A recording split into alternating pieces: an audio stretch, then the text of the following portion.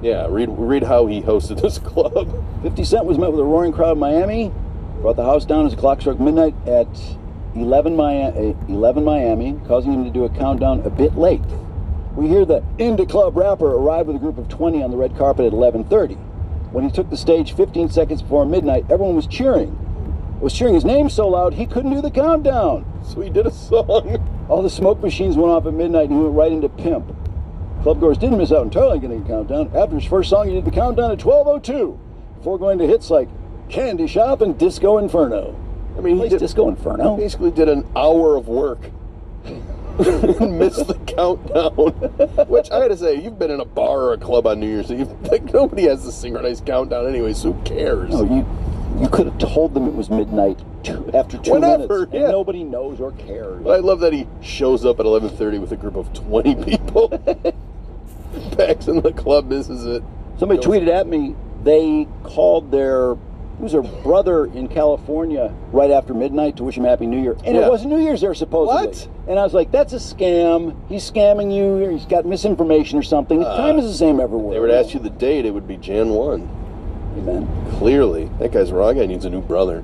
So the the uh, slap in the face was for Betty White, just weeks from turning hundred, to be struck down. I got good news for you. The Betty White movie about being 100, which apparently exists, What? is still going to air next month. That's right. Oh, they did all this thank stuff. God. People magazine did this whole article on her turning 100. Who wants to see that movie, by the way? Well, Betty, here it is. Betty White's 100th birthday party event will still go on, but she's not having a birthday. Couldn't they just change it to a funeral? Uh, It's January 17th. Creates kind of an awkward bit of programming, doesn't it? It's a tribute to her. It was set to play in movie theaters for one night only on her birthday. I, I want a forensic accountant counting the uh, gate receipts for that. it's titled Betty White. is going to that? Betty White, 100 years young. Oops. It'll still go on as planned despite Friday's tragic news. The event's producers, well, I don't even know these two guys are. Wouldn't you love to have a Told that the- photograph of the entire group of people that actually chooses to go to that event? I would love to see those people just to go, hmm. So that's what they look like. They probably were just in Times Square on New Year's I think they're older than that. So? They were in Times Squares 40 years ago, maybe. No, a lot of young people like Betty White, to which I say, why? Well, she's a sweetheart. Nice. She's we, she's She's been around for so long. She's fine, but- Nice. but we act like she's. No. Uh, she was in the Golden Girls, big deal. Rest in peace, Betty. Is it really that hard to be nice? Apparently, yeah. Nowadays. Oh, no, you're right. It is And it's live a long, pretty exceptional quality now to be nice. Uh, eh, but the other huge event was, of course, and God, how did he make it to 85? John Madden dies at 85. What a bummer. People that big don't usually live that long. No, he's a lot taller than I thought he was, or ever remember him being. Yeah, I remember on the sideline with the with Oakland Yeah. back in the day. He, by the way, winningest coach to have won over 100 games in the history of the NFL. More than Lombardi? Yeah, he's got like 100 and, 110 wins and 33 losses or shit, something wow. like that. Yeah, incredible We won 10 games every year. I, Brandon and I were talking about it before the show. It's weird how it's kind of a testament to him, too, about how. See, you mentioned his coaching. I remember him as a broadcaster, and then kids today, it's all about Madden, the football game. I know it, it really seemed like Madden the football game was the thing people were talking about. It's going to be his lasting legacy. Yeah. When did that that come, come out in the late 80s? 90s. Mid 90s? Yeah. Okay, so it's been around a long time. Yeah. Yeah, but every young person has played it. Oh, my God. I mean, yeah. I've even played it. It's synonymous Not with him. a lot. I asked Julie. I asked Julie. I go, "Hey, do you know who John Madden is?" She goes, "That pay per view guy." Stop acting tonight. And I said, "Yeah, but do you know why it's the pay per view?" No, not really. Like he was a broadcaster on NFL games. I said he's also the namesake for Madden. She goes, "Oh, really?" No clue. Doesn't register under. People were, were posting the gay per view, and at first I was like, oh boy, is that okay? No, of And course then- not. That's why it's fine. I listened to them. Those are really good. I have to say, I'm proud of a lot of things in the history of the show, but I, I'm very proud of that. They're pretty That was good. really good. That was their very words. well done. It's their words. I didn't do anything. it's new on the Gay Channel. What is it? You get man to man, and you're the guy that's man to man. you have to beat your man. And Thomas just comes in and unloads on Terrence. It's Monday night gay per view. There's no question that Dante heard John coming. He's been rolling them all night, but they still look relatively fresh. Gay orgy competitions are always intense, but these homos really pump it up a notch on Monday nights because they know the entire Packer populace is watching. I guess he got him in the back. huh? You got Tony Fisher in the back. Well, that was an illusion. Sometimes the head will start out in front. The action's even hotter and kinkier than ever before. As he goes in, Harris starts to bite on it. Then as he goes up, he had to grab him. We just rubbed off. This pay-per-view looks like it's gonna overheat. I mean, he gets in the hole and he hits him as square as square can be. Where in the heck did that one come from? What happened? Order today if you want to see the beefiest guys doing the gayest stuff. He ended up down there on all fours.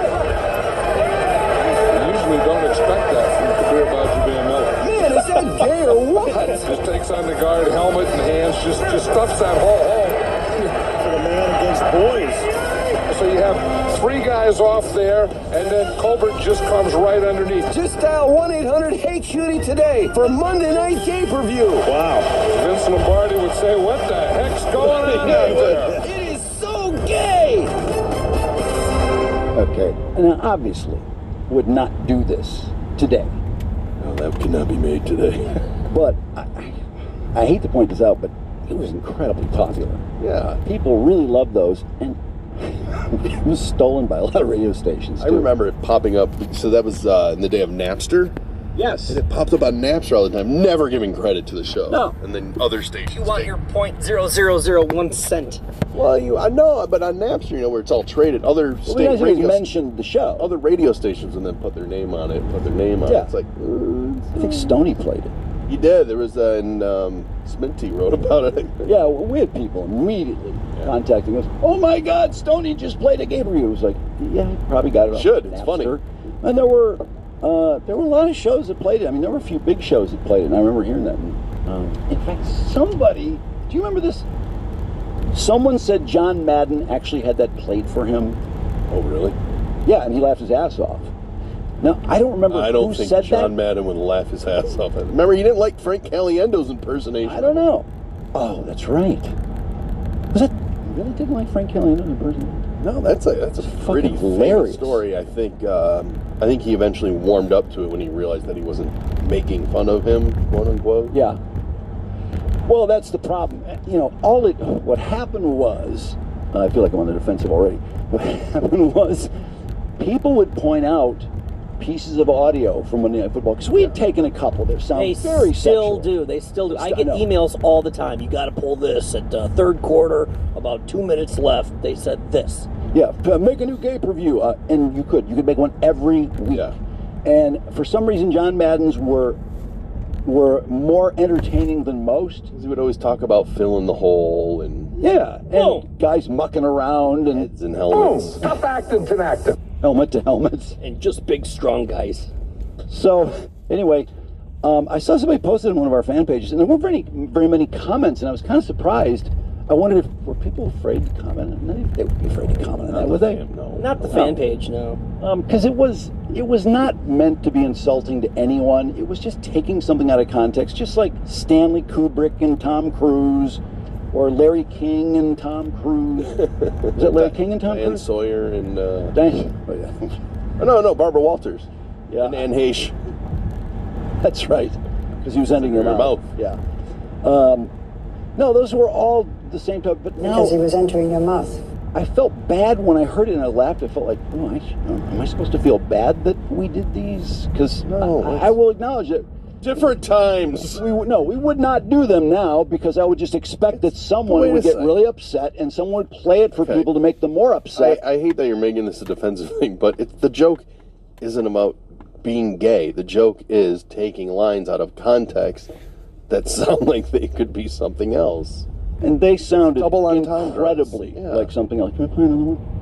I kind of want to hear. It's happening This the original on the one? Gay Channel. Like you see, it has sticky stuff on it. And, and who would have thought, huh? Lester Hayes had more sticky stuff on him than that. The best of Pat Summerall and John Madden's gay male orgy competition. Here he is right here. His nickname's Meat. Nickname ought to be Lot of Meat. Here's the unit that's done the magic. 21 years of the world's biggest homos doing the gayest stuff. See that left hand in there?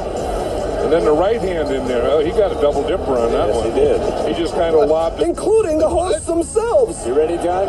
You can kind of feel that one coming right there. Next comes the shave and then dinner. Plus, you'll get all the finest performances by the most valuable homos past. It's like Grant uh, let that kind of get away from him, didn't he? Uh, on his chin or on his No, on his head. head? Roger looks like he's tossed it before. Revisit some of the unsung homos. The sure-handed one. Here he is right here. His nickname's Meat. Nickname ought to be Lot of Meat. And hear all the biggest moments in the history of the gay male orgy competition. And there is a hole right there. And A couple of pretty good shots. Plus the clutch performances that have made gay per view so exciting. There's no room in there. I mean, that, I mean, you can get on a guy, but when you get on a guy and you knock him out of the hole, that makes that hole wide. Knock him into your own guy and knock him back. Revealing interviews with the gay participants. You did come through the manhole. Pat Summerall may be retiring, but his work with John Madden on gay per view lives on forever. Pat, did you ever think you would see one of these things on a football thought- field? I thought it was a new golf club. Order the best of Pat Summerall and John Madden's gay male orgy competition today. Well, when you're going to throw a guy a bone, throw him two bones in a row. And homo out to your heart's content. Last week, I thought that he was tight, and when he's relaxed, I think he's going to open up. Call 1 800 Hey Cutie. We've had one of those things fly in our booth. Hit me. That's not the best one. Well, there, I have another one. I have- It's the original, original. How many? There's like five of them, aren't there? Yeah, I'll check. At here. least. But a lot of people also will know from listening to the show that you guys had two famous phone calls with John interview. Madden. Oh yeah. They're uh, they're quick, they're brief. Here was the first one. Heads up. Oh boy. Hello. John? Yeah. Hey, it's uh, Drew and Mike calling on WRIF Radio. How you doing this morning? I'm still sleeping. Man. Oh, John. I'm sorry. Can we Wait a second. back? John? John? That was the recognizable voice of Mr. John. The phone isn't. What in the hell? John? Don't you don't you picture him sitting there like this? Yes. You jerk. John? John?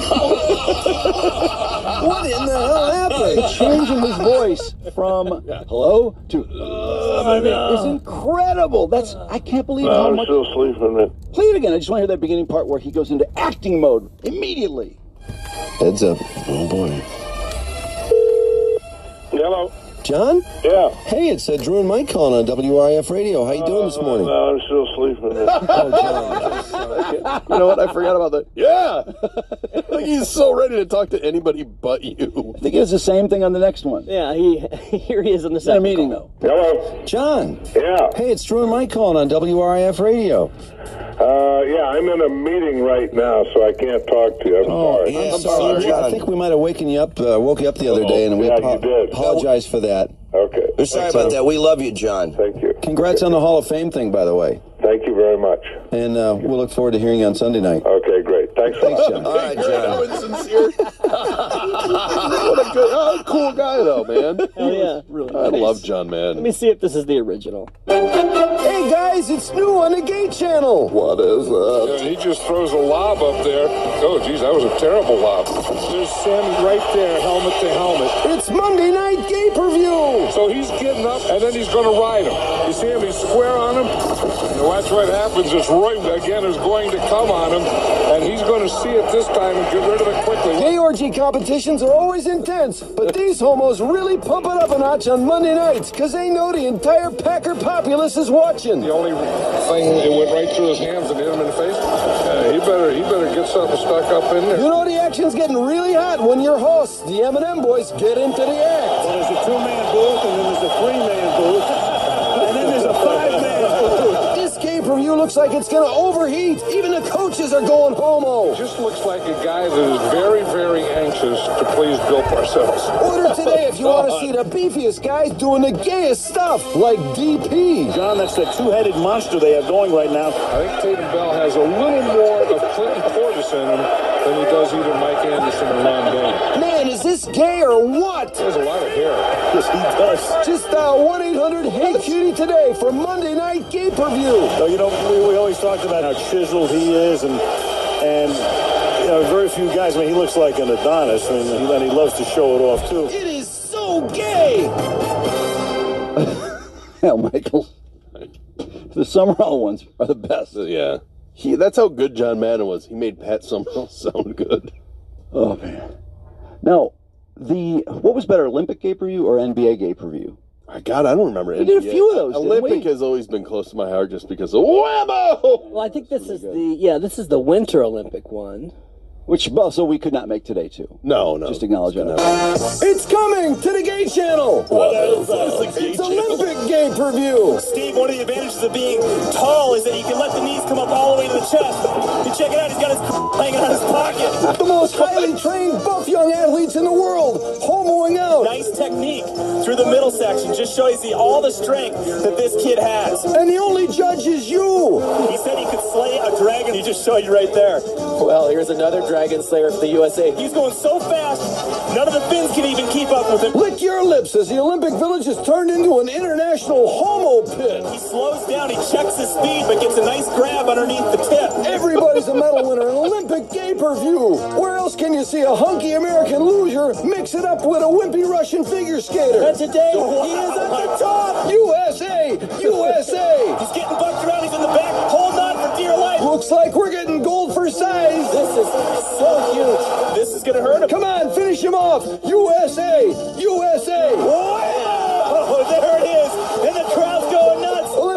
Olympic Gay Per View. The same competitive atmosphere and family participation of any other Olympic sport. And there's Dad Larry up the stands, relieved. A solid effort, and the crowd is delighted. Tell me you haven't wondered about these femi figure skaters getting it on with each other. Your legs want to pry apart when you're going super fast. What do those dual or double luge guys do when you turn them loose? Getting back in, it's important right here to keep tight. Call 1 800 Hey Cutie today and do your personal best watching Olympic Gay Per View. That, that could not be made today. Whammo! Uh, definitely could not be made today. no, I wouldn't even try. But I mean, can't pretend that they weren't made. No, no, it happened. I guess. Um, NBA gay per view. That was the finals, wasn't I it? don't remember this one. This reminded me of the Magic of Magic, by the way. Oh, Four that Magic of Magic. awesome. Five or six of them. It's coming to the Gay Channel. What is it? It's NBA Gay Per View. Bryant trying to shake off Allen Iverson. Who better than Marv Albert and the gang to introduce fans to the newest Gay Per View spinoff? Garnett was so wide open. Marv, you could have hit him with that. Well, let's not get crazy. Duncan try to go backdoor. We're holding nothing back. You'll see the NBA's biggest stars pulling out their best homo moves. Serves up a facial on Ray Allen. There's loads of facials and no editing out those near facials. Three on one. O'Neal lobs and McGrady not able to handle And it. when's the last time you heard Jim Gray asking MJ about doing an anal scene? Just Kirsty said you didn't turn around. He was going to give you a mulligan. I know he told me that. I would, I would have turned around if I knew that, but I, I didn't think about that. Michael may be getting up there, but he proves he can still handle the young fellas on Gay Per View, NBA style. That's two blown back to back. Michael is feeling, uh, he's blushing out there. And don't miss your favorite stars unabashedly masturbating. Tim Duncan trying to put on his own show. Kevin Garnett will handle himself.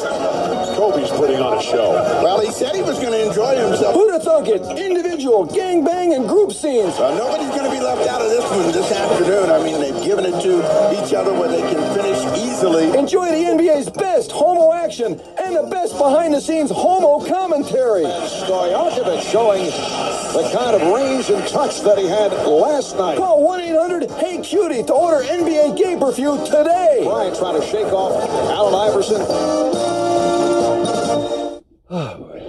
Do you want to hear a fun Madden story? Yeah. This is from uh, Matt Millen. Relayed this story. And Hey, while, said- while you're telling the story, Brian, do you think you can find maybe Frank Caliendo doing Madden? Mm-hmm. Would love to hear some Frank Caliendo. Did he did he eulogize him or anything? Caliendo? Did he say anything Good about it? question. Maybe he is.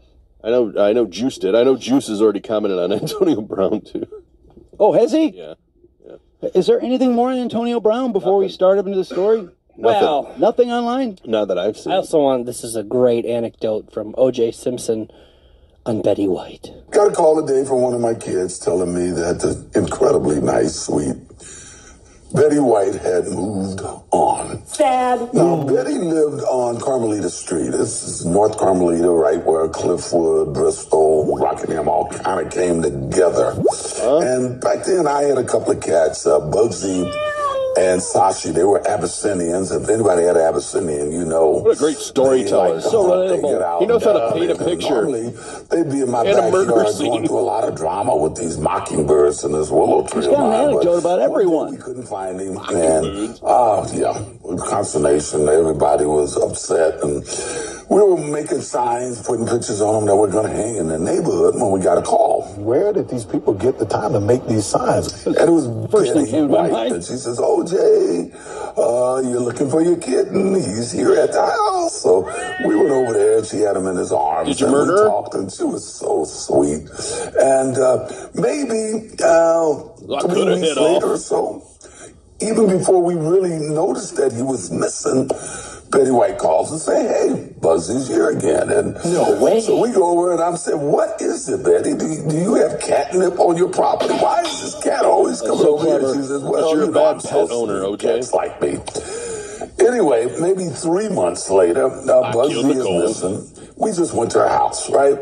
And she said she hadn't seen him. We were in her front yard talking, and we hear meow. Oh, no, no. And right there in the tree that bordered her property, there was Bugsy. Never understood what that was about. I, I guess she was Trying to right. get away from you, you murderer. She's so sweet that the cats just, you know, gravitate to, to her. In any event, my condolences to her family, and uh, uh, rest in peace. He's so Betty, awful. What a sweet lady.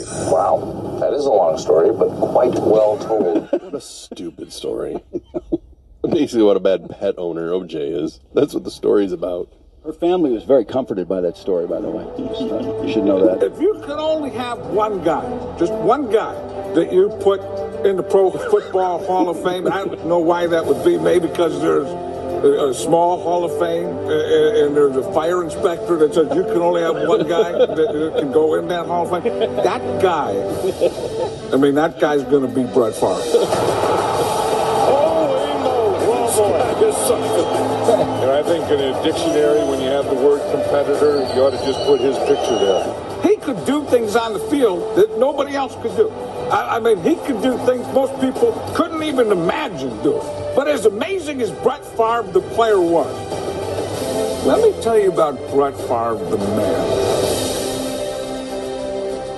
Back in 2004, we are talking to Brett Favre at Lambeau Field, and we're, you know, just having a normal interview, and a squirrel came running across the field, and uh, I guess it tripped and injured itself. I. I, was, I, was, I wasn't really paying attention to the squirrel. But Brett Favre, in the middle of the interview, saw the squirrel trip, and Brett looks at the squirrel and says, "Oh no, that squirrel is limping." I mean, I didn't even know a squirrel could limp. So Brett Favre runs over and helps that little guy. Brett Favre made that squirrel a little cast. And then he made him little squirrel crutches. I mean, who, who makes a, a squirrel crutches? I'll tell you who does. Brett Favre does it. And most people would have sent that squirrel on its way. But Brett Favre was worried that squirrel wouldn't get away. Maybe he was being chased by a predator a bigger squirrel that wanted whatever that squirrel had gathered. So Brett Favre taught that squirrel karate. And I said to Brett, I didn't know you knew karate. And that's when Brett Favre said to me, I didn't know karate. I taught it to myself when I saw that squirrel trip. That tells you something right there. Any man who could learn karate that fast. I kind of prefer when he's just winging John Madden. Yeah. when he starts babbling. Yeah. well, he famously went on, uh, was it Letterman, and did and did Madden on Letterman.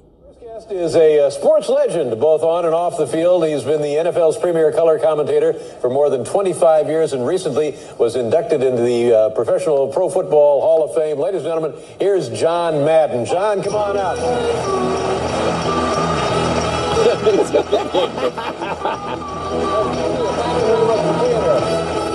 He's only like five foot five. Good to have you on the show. Nice to nice to see you. How are things going? Pretty good, Dave. I mean, I mean, there's a lot of places you could be, but I mean, anytime you're in a place like this, you think, I mean, I mean, I mean, things start to get. You, know, you want to be on a, in a funny place, and this is one of those funny places. And if for another place and it's not as funny, you think, I mean, why am I that place? I, I, what I wanted to be was in a funny place, and boom, I mean, I'm, I'm right now, Dave. Good. Thank you. Thank you. Uh, it's an exciting time for uh, you and football. I mean, you're in the Hall of Fame, and you you went to a new network and everything. How, how's all that going? Yeah, I mean, a new network. I mean, you wouldn't know about switching networks, Dave, but I mean, it, it, it's just one of those things that, you know, you go to a different place and you do different things. Uh, still working with Al Michaels, of course, the, the greatest announcer in the world, if you don't count like 30 or 40 other guys. I mean, I mean, I mean, I mean, I mean, uh, he stands on a box the same height as me, but I mean, I mean, I mean, I mean, I mean, I mean, it's great working there and great doing what we're doing there and, and, and doing the things we do, and as long as we keep doing them, I mean, I mean, you, you know, that's, like, that's all about. Yeah, it I do remember at the very tail end of Madden's broadcasting career, I remember a lot of people going, "Oh, he needs to hang it up. He's he sucks." A lot of people came hard at him towards. Was he the end. losing it? Yeah, uh, I never liked him on HD because I thought he always looked like he was wearing a John Madden mask. No, he looks like a monster. He did. He looked. He was scary. But at the end, he would just state the obvious a lot, and people didn't like it. Well, he was, you know, how old was he when he stopped? Seventeen. I had to be in his He's seventies. 85 when he died, Yeah. so maybe mid 70s. Yeah. had to Well, have been. Keith Jackson was going a long time, and so was uh, Pat Summerall. Oh, he was. Oh boy, someone. Yeah, he was sort of hitting the end. the, the infamous Cotton Bowl. His purple hands. I've never seen Tom Masway as bummed as when Sean and Belichian pointed out to him his purple hands. Because Tom just wants to believe Pat Summerall is Pat Summerall 1970. I have to say, wh- the thing that sucks the most about getting old is when you fuck anything up. People immediately say, "Oh my God, he's getting sold." Sure. If I mispronounce a word or anything, it's always because, "Oh my God, he's sold." So there is that part. Well, like I, I said, my dad was in the hospital, and so when I was talking to him, it was right when it broke that Madden died. I said, "Hey, you outlived John Madden." He's like, "What?" Like, Well, Madden not died. technically. I know, not age. Literally, he did, but And then I said, "Hey, you outlasted Harry Reid," because that happened. Those those new, that news broke like within an hour of each other. I'm like, was John did John Madden get in a car accident with Harry Reid? They both died at the same time. I saw all this total heaviness about Harry I was Reid. so I'm like- pissed. I'm like, oh come on! I- you know, when a politician dies, I unless they're a president, I just cannot get that worked up about it. I was so pissed that Harry Reid led the nightly news, and then it was John Madden. And I'm sitting there going, I think John Sorry. Madden probably touched way more lives than Harry Reid. I know there's an airport named after him. Probably in a more positive way too. Sure, but I was just surprised. I don't know why. I was just surprised that that led the. I mean, I don't want to. I don't want to judge what he did or he didn't do, but I just politi- I just hate politicians. I just yeah. fucking hate them, and they're all about themselves. And when they start acting like, and it's just when they put their own names on things, and it's like, God, come on. There's so many people who actually do something. Yeah. So here's a here's a Madden story from Matt Millen. Um, he was talking about how John Madden had three rules for football players because Millen played for him, right? Did he play for him? No, that he would have been a Raider afterwards. Early '80s. Would have been close. Yeah. But he knew him well. He said, number one, be on time. Number two, pay attention. Number three, play like hell when I tell you to. Those were Madden's three rules. But he had a lesser known rule for his bus passengers on the Madden Cruiser, and it was nobody takes a dump in the Madden Cruiser. Only three people broke the rule in all of Madden's years of busing. According to Matt Millen, they were Fox producer Richie Zyontz. I don't know who that is. It's the only trivia question he's the answer to, by the way.